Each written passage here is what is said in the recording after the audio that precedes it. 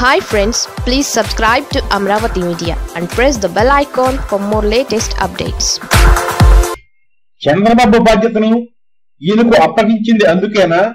జగన్ ప్రభుత్వం నిన్న రాత్రి ఓ జీవో విడుదల చేసింది. అమరావతి రాజధాని అక్రమాలే కాకుండా గత ఐదేళ్ళ కాలంలో ప్రభుత్వ నిర్ణయాల కారణంగా చోటు చేసుకుంటున్న అక్రమాలపై ఓ ప్రత్యేక దర్యాప్తు బృందాన్ని వేసింది.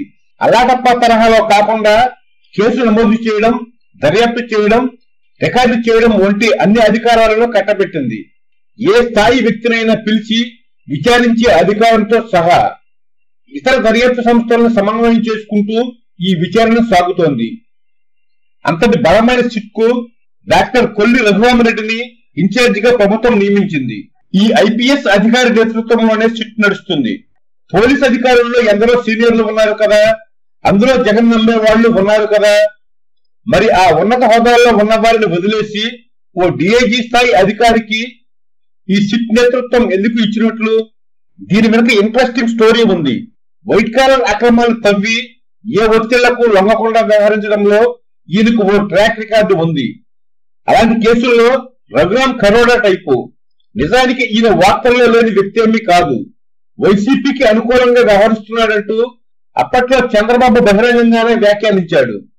అంటే రెండు వేల పద్నాలుగు ఎన్నికల్లో అప్పట్లో కర్నూలు ఎస్పీగా ఉన్న రఘురామ్ను ప్రకాశం జిల్లాకు బదిలీ చేస్తే ఆయన క్యాట్కి వెళ్ళాడు క్యాట్ ఆయనకు అనుకూలంగా తీర్పు ఇవ్వడంతో మళ్ళీ కర్నూలు ఎస్పీగా వచ్చాడు.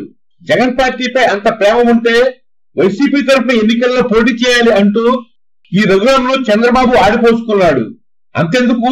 తన ఓటమికి కారకంలో రఘురామ్ కూడా ఒకరని కర్నూలులో ఓడిపోయిన టీజీ వెంకటేష్ కూడా కామెంట్ చేసినట్లు వార్తలు వచ్చాయి. తర్వాత చంద్రబాబు అధికారంలోకి వచ్చాడు. రఘురాంకు తెలుసు ఇక తనను ఎలా పనిచేయనిస్తారో సెంట్రల్ డిప్యూటేషన్ మీద వెళ్ళిపోయాడు ఈ మధ్య అంటే రెండు వేల పంతొమ్మిది సెప్టెంబర్లో ఏపీకి తిరిగి వచ్చి ఇంటెలిజెన్స్ శాఖలో చేరాడు. ఇప్పుడు ఆ శాఖలో డిఐజీ కేడర్. సో అర్థమైంది కదా? జగన్ కావాలని తనకు ఎందుకు ఈ సిక్పెత్తనం అప్పగించాడో? ఇందులో మరో కోణము ఉంది. తను జిల్లాలో పనిచేసినప్పుడు కాస్త ముదురు ఆర్థిక నేరాలపై కన్నేశాడు. ఎవరిపైనైనా దృష్టి పెట్టి ఫైల్ ప్రిపేర్ చేశాడంటే ఇక దబిడి దిబిడే అన్నమాట. ఆన్వే ఇండియా అక్రమాలపై ఆ సంస్థ సీఈఓ విలియన్స్ క్యాట్ ఫిక్టరీ చాలా కథలు నడిపాడు.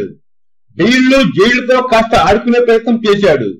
గుర్గాం వెలువరి తనను అరెస్ట్ చేసి లోపలేశాడు ఈ రఘురాం ఇది ఒక ఉదాహరణ. మరొకటి కావాలా? తన కెరీర్లో విపరీతమైన ప్రెషర్ ఎదుర్కొన్నది ఎన్మార్ట్ కేసు విషయంలో. దాని బాసు గోపాల్ షెకావత్ కోట్లకు కోట్ల డబ్బు. డబ్బుతో ఏదైనా కొనేయవచ్చుననే టైపు. తను కూడా ఆమె క్యాట్ పిక్ని లాగానే జైళ్ళు బెయిలర్తో ఆడుకునే ప్రయత్నం చేశాడు. చివరకు సాగలేదు. తనను కూడా లోపలేశాడు. ఫోన్జీ భావించే నక్షత్ర అక్షయ గోల్డ్ కూడా.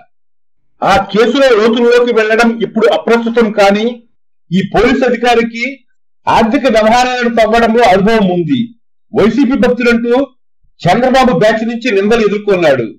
చంద్రబాబు పాలన కాలంలో ఏపీ బయటికి వెళ్ళిపోయి మొన్న మొన్నటి దాకా అజ్ఞాతంలో ఉండి మళ్ళీ రంగంలోకి వచ్చాడు.